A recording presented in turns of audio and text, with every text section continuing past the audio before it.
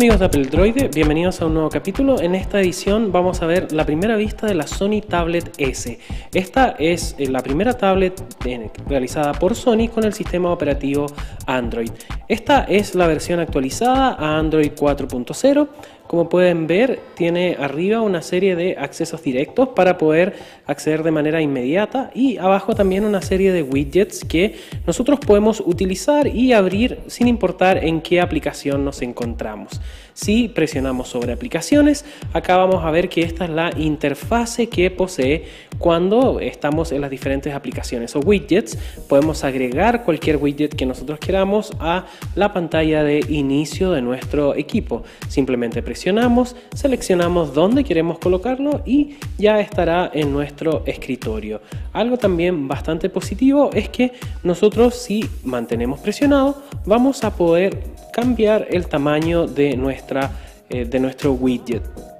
En general hemos visto que eh, se mueve bastante rápido y aquí por ejemplo esta es la sección de favoritos en la que encontramos todas las aplicaciones que, o videos que hemos reproducido últimamente. Es una aplicación desarrollada por Sony. Lo siguiente que vamos a ver es la aplicación de YouTube. Como sabemos, este equipo ha sido recientemente actualizado a Ice Cream Sandwich y esta es la interfase con la que nos encontramos en el equipo. Aquí, por ejemplo, podemos ver todas las diferentes eh, videos que se encuentran en nuestras novedades. Si en el caso que no tenemos eh, nuestra cuenta de YouTube, simplemente aparecerán otros videos. Acá nos encontramos en nuestra cuenta, podemos ver todos los videos que hemos subido y esta es la típica interfase. Abajo contamos con toda la información referente, podemos elegir si vamos a ver en HD o no y podemos colocar me gusta o no me gusta directamente. Aquí podemos ver todos los diferentes comentarios y simplemente presionamos ahí para poder verlo en pantalla completa. Como pueden ver se reproduce sin ningún problema y también podemos a través de Bluetooth, Gmail y eh, otras opciones si tenemos más aplicaciones instaladas en nuestro equipo. En general la aplicación se mueve muy rápido, los videos en verdad cargan eh, bastante más rápido de lo que hemos visto por ejemplo en iPad a pesar de que se encuentren en alta definición. También nos gusta mucho que cuente con toda la información necesaria para poder tener la mejor experiencia. Lo siguiente que vamos a ver es Google Chrome que actualmente se encuentra en una versión beta exclusivamente en equipos con Android 4.0. Como pueden ver su eh, interfaz de usuario es muy similar a la que encontramos en nuestro PC con los más visitados, marcadores y también nuestros eh, favoritos directamente. Quiere decir que si lo sincronizamos con nuestra cuenta de Gmail vamos a poder tener acceso a todos nuestros eh, archivos y eh, favoritos directamente en un lugar. Vamos a entrar a la página de Apple Droid Apps para que vean un poco el rendimiento de este navegador, por supuesto su pinch to zoom y qué tan rápido carga dicho eh, sitio web. Ahí podemos ver que está cargando el sitio, lo hace de manera bastante rápida y ya podemos ver en totalidad nuestro sitio. Pueden ver que el pinch to zoom funciona sin eh, ningún problema y vamos a entrar por ejemplo a la entrada del Nokia Lumia 800. Ahí podemos ver toda la información. Luego de eso nos encontramos con una fotografía, información, ahí tenemos el video review y el siguiente o el resto de la información. Ahí podemos ver que el pinch to zoom nuevamente funciona sin ningún problema. Podemos agregar cuántas pestañas nosotros así lo deseemos y también tiene la opción de búsqueda por voz directamente integrada en Google Chrome. Eso sí, no soporta Flash, solamente HTML5, pero por supuesto también está incluido el navegador por defecto que sí soporta Flash para poder acceder a todo ese contenido en la Sony Tablet S.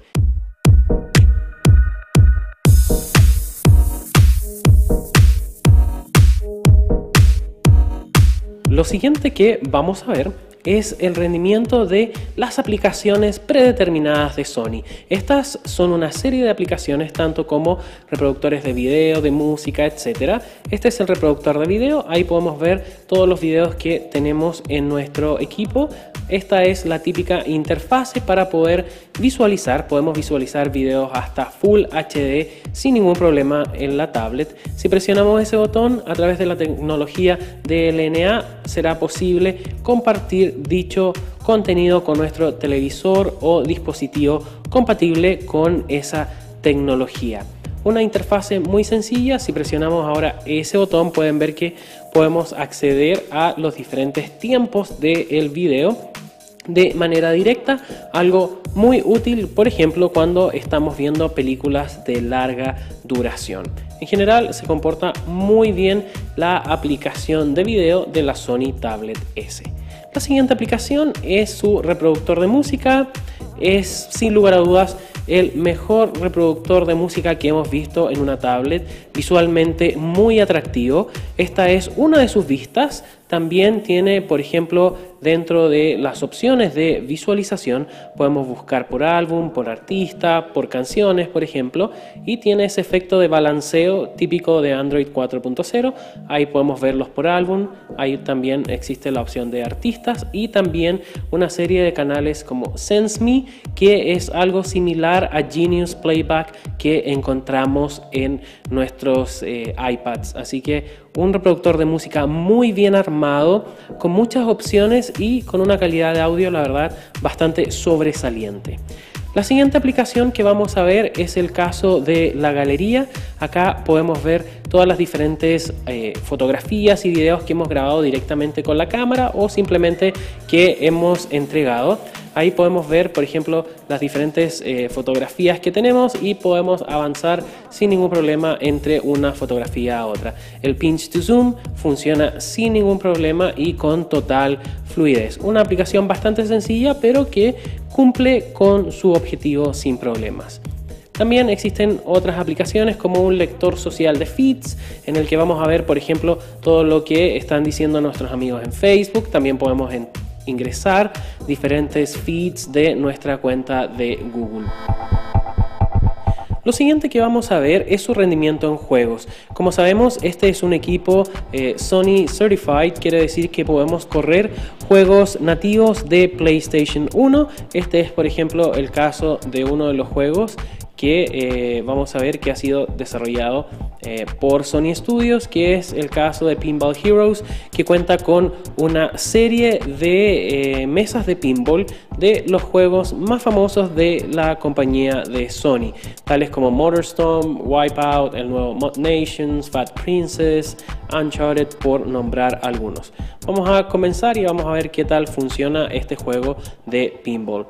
Como pueden ver, funciona muy fluido, bastante rápido. No tenemos absolutamente ningún problema a la hora de disfrutar este entretenido juego que viene preinstalado en nuestro equipo. También viene preinstalado el juego Crash Bandicoot, que eh, es un juego, la verdad, bastante clásico dentro de la plataforma de PlayStation y lo podrán disfrutar de manera inmediata. Y por supuesto, este es un juego de pinball, la verdad, bastante sencillo de usar. Vamos a ver, por ejemplo, otra de las mesas. Vamos a ver, por ejemplo, el caso de Uncharted y qué tal se eh, funciona con este juego o esta tabla, perdón. Como pueden ver, es una tabla eh, muy inspirada en el juego y con acción bastante rápida y muy entretenida. Así que si les gustan los juegos de pinball, eh, están de suerte ya que viene incluido en su Sony Tablet.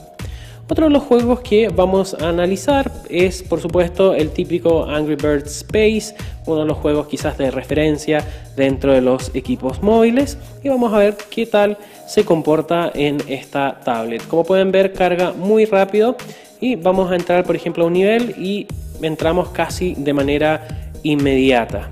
Así que el rendimiento en juegos casuales, como por ejemplo es este caso de Angry Birds, pueden estar seguros que funcionará sin ningún problema en su tablet.